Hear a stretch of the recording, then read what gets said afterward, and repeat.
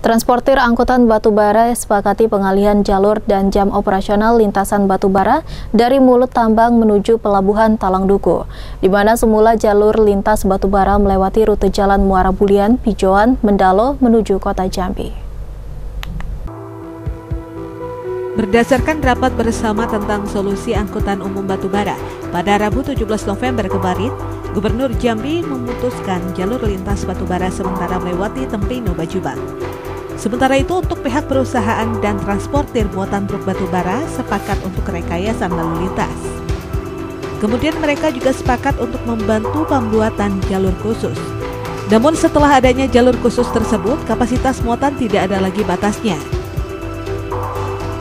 Pimpinan transportir PT Kaisar Batanghari Yudi Harba menyatakan mau tidak mau melaksanakan kebijakan dan kesepakatan yang ada, sementara itu pihak pemerintah terus melakukan evaluasi guna penyelesaian permasalahan batubara dan bisa berjalan dengan normal tanpa harus kembali konflik antar warga, pemilik IUP, dan transportir.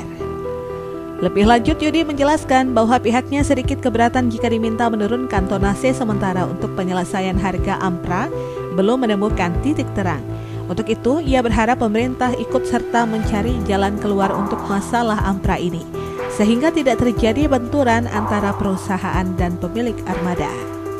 Jam operasional sekarang kita bilang setuju, tidak setuju, aturan harus dijalani, iya kan? Aturan harus dijalani yang sudah disepakati hari ini, iya kan?